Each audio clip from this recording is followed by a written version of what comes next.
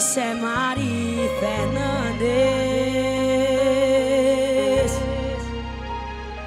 Ainda te sinto nos meus sonhos. Toda noite eu te encontro nas estrelas pra dançar nossa canção.